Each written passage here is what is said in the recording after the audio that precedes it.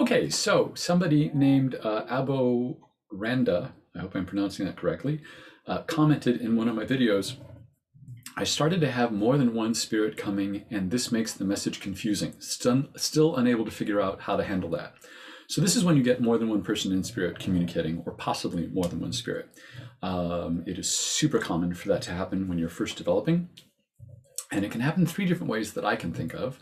Uh, one is where you're in a group of people and you give evidence and two separate people say i can take all of that i can take all of that that happens. Or um, one person will say i understand everything you're saying for two different people in spirit like my mom and my grandma everything applies to both women. And you you actually have two people that have come together. Or one person can say i understand everything it applies for example to both my mother and my grandmother but you really only have one person and it coincidentally what you're saying applies to both and you have to figure it out. So the first thing I'm going to say again is it's super common. Uh, it will happen on and off forever. Or at least it still happens to me. Still happens to friends of mine. Um, uh, so be open to the idea that you can get more than one person. Um, usually, what happens when you get two people is you'll get one more strongly than the other, and they'll one will lead the first will lead the other one in, or you'll know you'll have two people and you know you talk about one and then they'll switch to the other person. Eventually it gets to be that way where when you get more than one person it's it's much much more obvious and you kind of just have to practice this and get to know yourself and how you respond to your connection with people in spirit. But uh, while you're developing and while you're trying to figure this out i uh, still before i sit down to do a reading i intend i will say out loud or in my head i want one person at least at first. I don't care if you lead other people in, but I want to start with one good communication. So I actually say that in my head. So let's say you have two different people in a circle and they both say, I can take all of that, I can take all of that. Um, one of the one of my earliest experiences when I was first developing, well, early in my development, not when I was first developing, was so frustrating. I wrote it down. Um, I, I, I, said to the group, I, I know I have a woman with me. She's in her early 30s. Uh, I know this is a boat related passing. There's a boat or a ship involved, and I know she leaves a, a husband and one child behind, and I'm sure the child is a, a, daughter. And this feels, I'm in California, and this feels as far away from me that you can get and still be in the United States. So I want to say it's the East Coast. Two different people could take 100% of everything. So I said, okay, I'll keep talking. Um, I I know that this woman is college educated, and um, her job is not just any job. It has a title like attorney or doctor or lawyer, like accountant. It's, it's a titled job. And I know the daughter is actually a child. It's not just her child, but it's a minor. It's someone under 18. Both people could take all of that. So um, so when this ha- this will happen to you, you will you will get more and more specific, and two people will still stay. They can take all of it or or the vast majority of whatever you're saying. So keep in mind, first of all, don't get frustrated. Keep in mind you're connecting, which is what your aim is to do: is to connect with people in the spirit. You are communicating. Sometimes, so as this happens, you just have to keep giving the information that you're getting and let it play out. Um, sometimes I will, I'll admit, I'll just choose one of the two people and I'll and I'll in my head I'll say I'm going with this person, and I'll kind of demand or, or feel into what I'm getting for them. That usually works, but not always. Sometimes the person in spirit is very insistent, um, so that helps. Sometimes you just have to decide in your own head who you're going to go with more.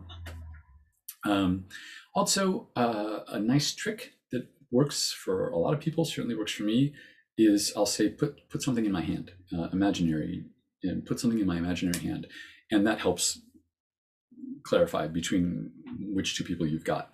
Um, because they'll actually put like a golf club or a paintbrush or whatever in your hand. And and I'll do that if I remember when a reading's going slowly or starts to slow down, I'll do the put something in my hand trick and that helps pick things up again.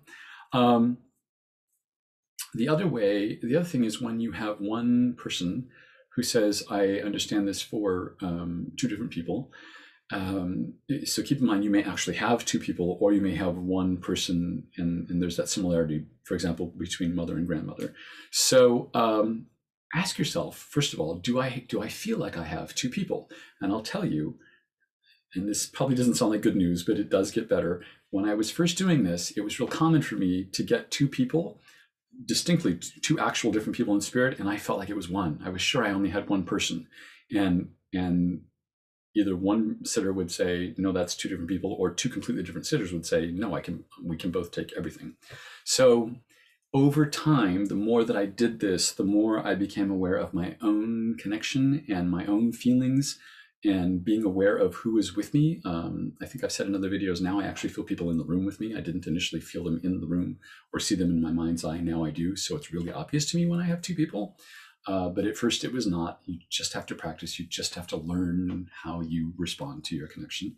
Um, it helps if you imagine two different people or two silhouettes of people. I'll do that, and and your attention will go to more than one than the other, and that will help clear it up. Um, keep in mind that you're connecting, so that's a good thing. Uh, and just keep giving what you're getting, and don't make when this happens to you, no matter how it happens to you, don't make an effort to be good. Don't even make an effort to be accurate because that's what really screws things up is when you are trying like, oh, I have two people and I have to get this right or I have to separate it. You don't really. Just keep giving what you're getting and let them figure it out or let them sort it out which one of them wants to come forward more strongly. Um, I've kind of left it up to them at this point when this happens to me. I'm like, I'm just going to give what I'm getting, and one of you just talk louder or be stronger. Um, you also, another trick that's really good, and you have to know yourself before you do this is to go with your own strength. So if you see things in your mind's eye more than hearing things or feeling things, uh, whatever your strength is, ask them. I want one of you to only give me visuals if visuals are your thing. I want one of you to say only give me only auditory stuff if you're more auditory. So that works too. Is to go with your own strength and and and just ask them. Talk to them in your head. You can also talk to them out loud. Um, I found that helps. I didn't realize actually how much I talk out loud uh, until I started making videos of readings or um, friends in circles commented. They're like, you talk out loud all the time to them because I didn't think that I do that. But you can talk to them and say, I want one of you. One of you come forward more strongly, or one of you only give me visuals, or whatever it is, whatever your strength is. Um, it's super common and it gets better. That's all I can tell you.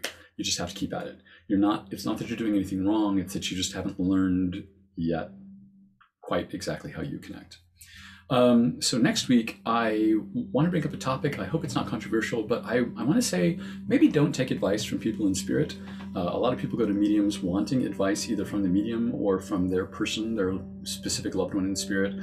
I don't know if that's such a good idea. I'll tell you why in the video uh, next week. And until then, please um, keep putting your comments or questions in below, and I will try to make a video, and hopefully you will find it helpful. And um, thank you for watching this one.